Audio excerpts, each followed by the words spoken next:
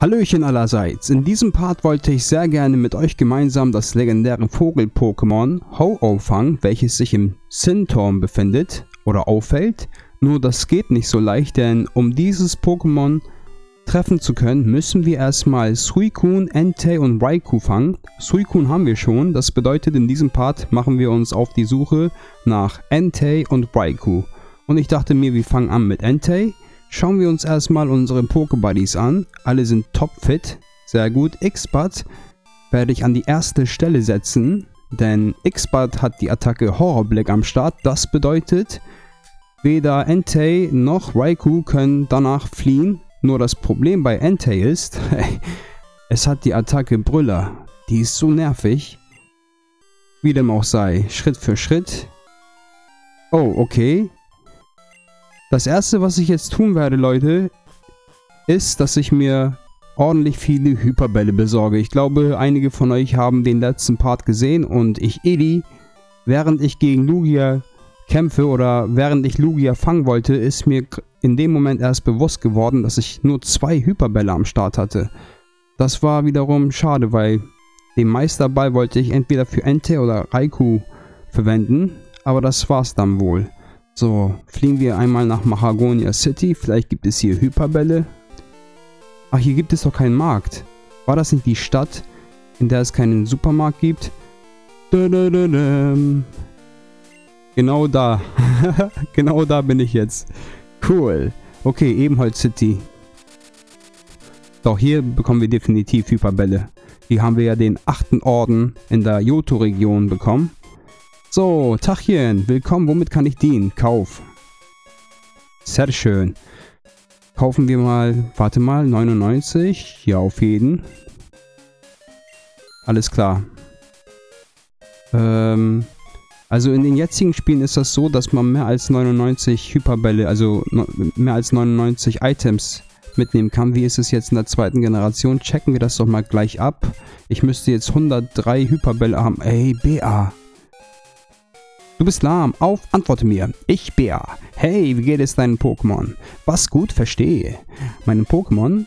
Es geht ihnen sehr gut. Was stellst du denn für Fragen? Oh, sie wiederholt sich immer wieder. Ob mir je ein wildes Pokémon entwischt ist? Du stellst Fragen.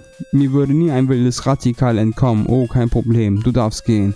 Oh, das ist so unnötig und sinnlos, Bär, was du hier gerade rumtreibst. Ich meine, ich habe kein Problem damit, dass du mich anrufst, nur... Ah, okay. Das wird also separat angezeigt.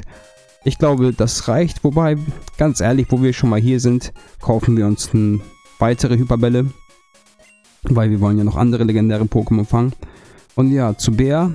Also Bär, wenn du mich anrufst, dann informier mich mal bitte über Neuigkeiten. So, ähm, Topschutz, ja, nehme ich trotzdem mal mit. Aber das Problem ist, ich kann jetzt Topschutz nicht verwenden, weil X-Bud ist ja auf Level 51 und wenn man zum Beispiel den Topschutz aktiviert mit der Absicht, dass man nicht vom wilden Pokémon angegriffen wird, dann muss man darauf achten, dass das Pokémon, was man selbst hat, vom Level her auf einer höheren Stufe sein muss als die wilden Pokémon, sonst werden dich wilde Pokémon, die levelmäßig höher sind als deine Pokémon oder beziehungsweise dein Pokémon, was du an die erste Stelle gesetzt hast, dann wird es wird das wilde Pokémon dich dennoch angreifen können. Okay, ich glaube, wir haben jetzt alles gemacht.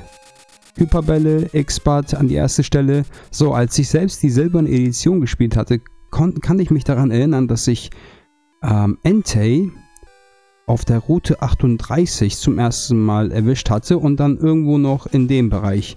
Da würde ich doch mal glatt sagen, ja schön, wo wir schon mal hier sind, suchen wir Entei. Genau, sehr schön, Schutz wirkt nicht mehr. Ja Leute, das Problem, was ich jetzt habe, angenommen, ich möchte, dass mir Entei und Raikou angezeigt werden, ne? damit ich deren Fundorte ähm, herausfinden kann. Aber ich habe die beiden noch nicht im Pokémon, äh, der, im Pokédex eingetragen. Nur Suicune. Das ist halt ein wenig schwierig im Moment. Das bedeutet, wir müssen jetzt so lange Entei suchen, bis es uns halt angreift, logisch. Mal schauen. Ein Magnetilo. Ja, wir werden jetzt des Öfteren fliehen. Es kann sein, dass diese LPs jetzt ein wenig zu monoton werden. Eigentlich würde ich sehr gerne, anstatt zwei Videos zu drehen, ein Video. Und zwar in einem Video zeige ich ähm, die Stelle, wo ich Entei, oh ich dachte schon, wo ich Entei erwische und Raikou. Aber das Problem ist, mit dem Laptop, was ich jetzt habe, ähm, ich kann den nicht zu sehr belasten. Da habe ich auch kein Schneideprogramm am Start. Aber bald wird einiges wieder besser, denn ich habe bald wieder einen besseren Laptop, so nur so am Rande.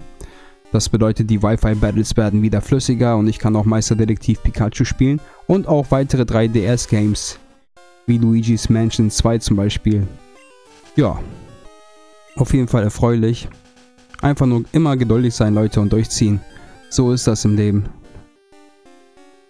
So, da ist Radfratz, nach dir suche ich nicht.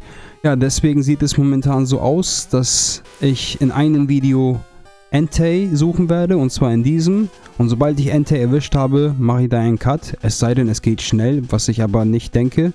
Und dann im nächsten Video würde ich, sage ich mal, ich, ich, ich würde das glaube ich so machen. In diesem Video ähm, zeige ich alles genau. Also jetzt zum Beispiel, wie ich angefangen habe, die Pokémon mir anzuschauen, wie sie gerade so kraftpunktemäßig sind und ob ich die richtigen Items habe. Und jetzt mache ich mich gerade auf die Suche nach Entei.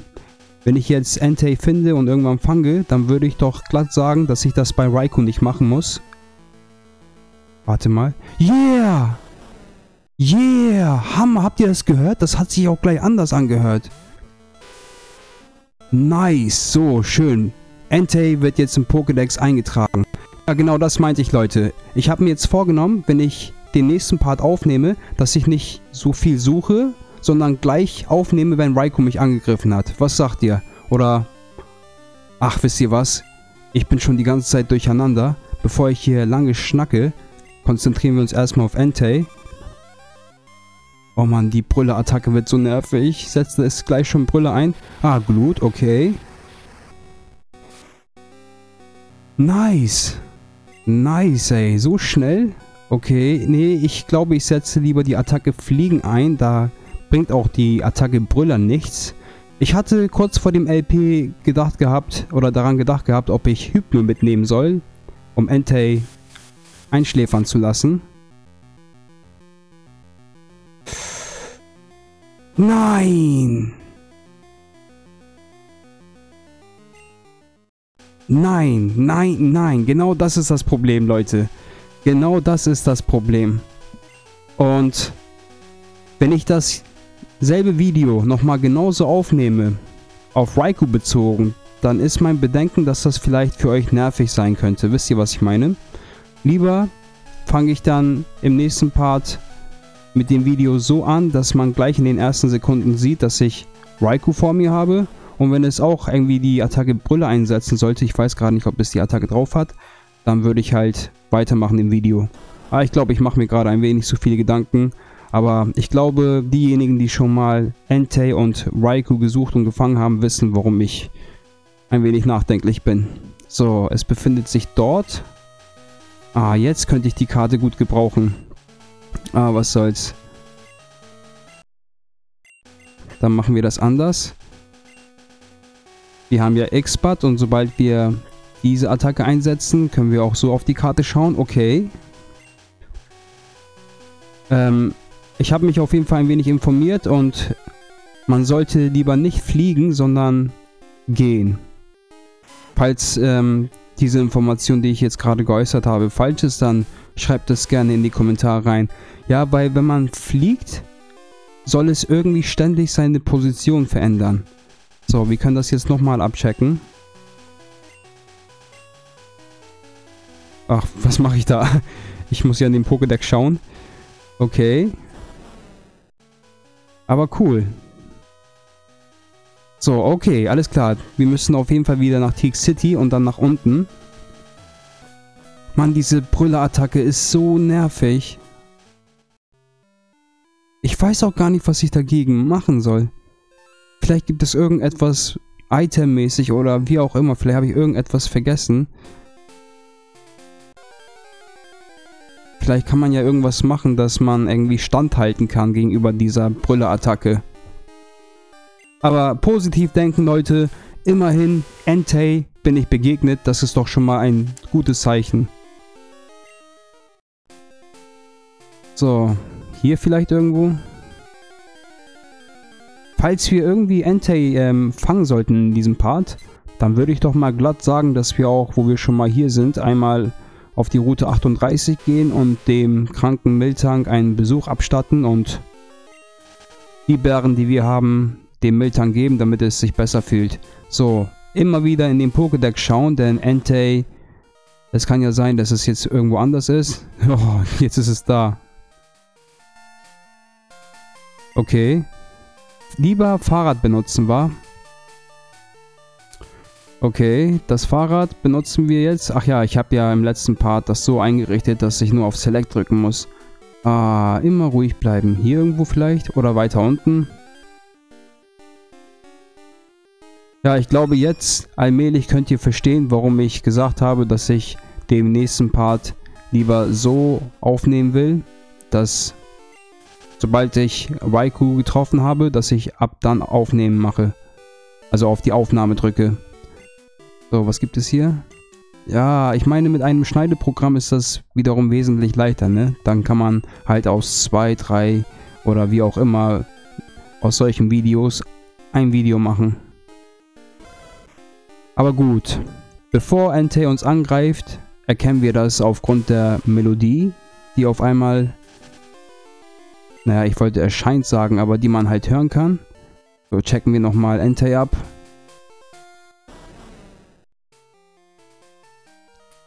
Oh, jetzt ist es... Wartet mal, wo sind wir?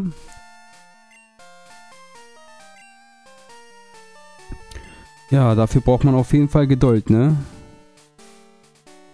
Okay. Dann weiter nach unten und rechts abbiegen. Hier vielleicht? Nochmal. Ja, das ist jetzt echt heftig, Leute. Okay, dann checken wir nochmal ab, wo wir selbst sind.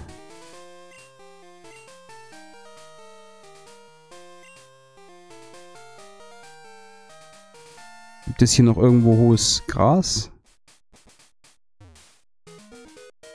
Äh, kann es sein, dass ich vielleicht falsch bin? Aber ich denke irgendwie nicht. Nee, ich glaube nicht. Ich glaube, wir sind richtig. Wenn jetzt hier irgendwo hohes Gras ist, ist alles okay. Okay. Oh, Leute. Wie lange habt ihr eigentlich gebraucht, um so ein Entei und ein Raikou zu fangen? Auf Level 4. Ist das süß. Ja, mittlerweile ist das wirklich süß. Ich meine, wir haben ja Monster-Pokémon im Gegensatz zu diesen wilden Pokémon. Aber okay, darüber muss ich ja jetzt nicht reden, wa? Okay, ach, jetzt ist Entei wieder da. Okay, ich versuche mal jetzt einmal zu fliegen.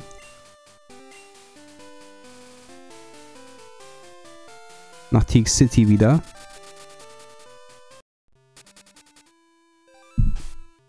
Mal schauen, ob Entei immer noch da ist. Unten.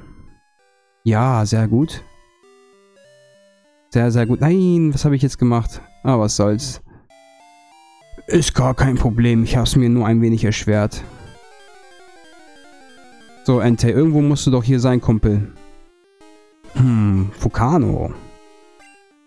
Fukano, du bist auch ein cooles Pokémon. Dagegen will ich jetzt nichts sagen, aber im Moment suche ich nach Entei, also Baby. Hier vielleicht, hier vielleicht, hier vielleicht, hier vielleicht, hier vielleicht, hier vielleicht, hier vielleicht, hier vielleicht. Nein. Es ist nicht hier. Bap, bap, bap,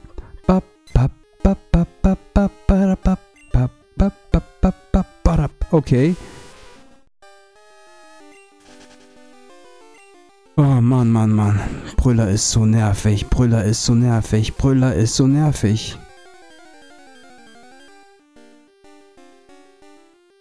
Also ganz ehrlich, das ist schon gut gedacht von Nintendo. Oder Game Freak. Denn das ist wiederum ein weiterer Spaßfaktor und wenn man zum Beispiel so ein Pokémon gefangen hat, dann denke ich, dass man auch irgendwie Glücksgefühle ausschüttet, Wie beim Sportunterricht oder allgemein, wenn man Sport macht. Im Sportunterricht. Mann, Mann, ich und mein Deutsch again. So, okay, wir sind eigentlich nicht verkehrt hier. Hier. Okay, hohes Gras, hohes Gras, hohes Gras, hohes Gras. Ho ah, da, da, da. Ich weiß nicht, ob es gut ist, wenn man zu viel in Bewegung ist. Okay. Kann das sein, dass es hier irgendwo ist? Oh Mann, Ente, ey. Ich meine, was soll ich jetzt den Zuschauern sagen, hä, Ente? Nur wegen dir? Naja, verschwenden wir Zeit. Ey! Ey! Raikou! Was? Heavy, heavy, heavy! Ey, yo, das ist auf jeden Fall geil. Gut, dass es gerade so abläuft, wie es abläuft, denn jetzt haben wir beide Pokémon im Pokédex. Horrorblick. Eine Elektroattacke und das war's für X-Bud.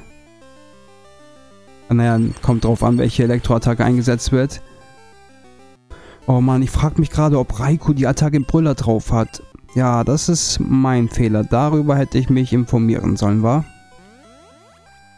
Checken wir mal ab. Donnerschock. Okay, jetzt kommt... Ah, Rucksukieb, okay. Donnerschock, Rucksukieb, das ist gut zu wissen. Ähm, ich könnte jetzt noch einmal Fliegen einsetzen. Hoffentlich gibt es keinen Volltreffer. Ich will nur Raiko abchecken, welche Attacken es drauf hat. Silberblick und welche Attacke ist die vierte Attacke? Hoffentlich kein Volltreffer, hoffentlich kein Volltreffer, hoffentlich kein Volltreffer, hoffentlich kein Volltreffer. Ja, ja, ja, ja, ja, ja, ja. Silberblick? Cool. Okay, Leute. Hyperball.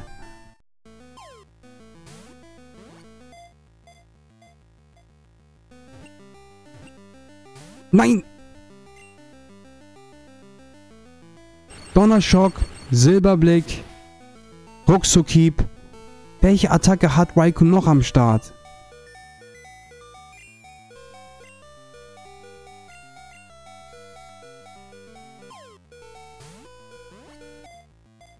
Ey, das wäre so genial, wenn ich beide Pokémon in einem Part fangen könnte, ne? Das wäre geil. Aber abwarten. Ich begreife das nicht, Raikou. Ich begreife das einfach nicht. Wenn deine vierte Attacke Brüller ist, dann setze sie bitte nicht ein. Hm, Sandama, eigentlich ist Sandama eine gute Option, aber ai, nicht, dass Raikou Brüller drauf hat und aus Trotz Brüller einsetzt. Okay, ich riskier's. Hey, hey, hey. Kein Angriff. Wie kommst du denn drauf? Wie kommst du da drauf? Komm schon, komm schon, komm schon, komm schon, komm schon, komm schon.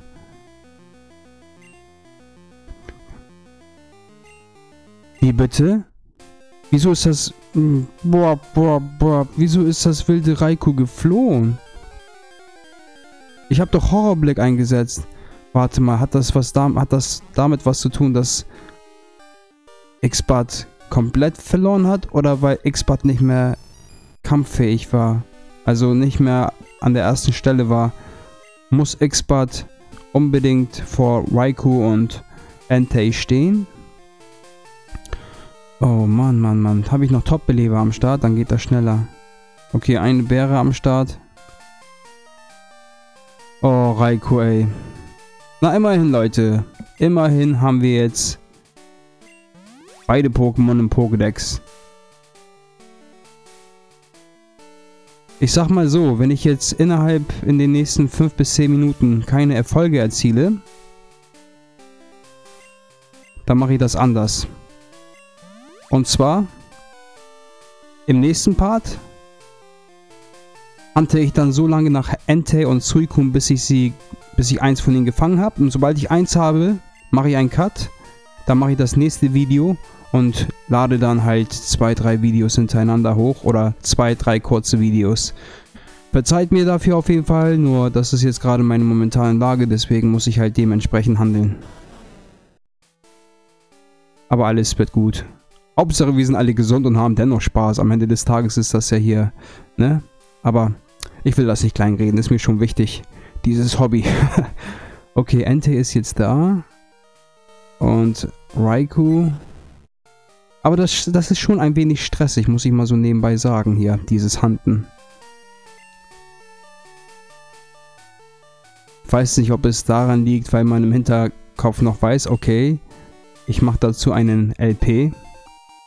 Das kann auch sein. Natürlich denke ich in jedem LP-Fass an die Zuschauer. Ich denke halt immer, ist das gerade vielleicht zu langweilig, zu monoton.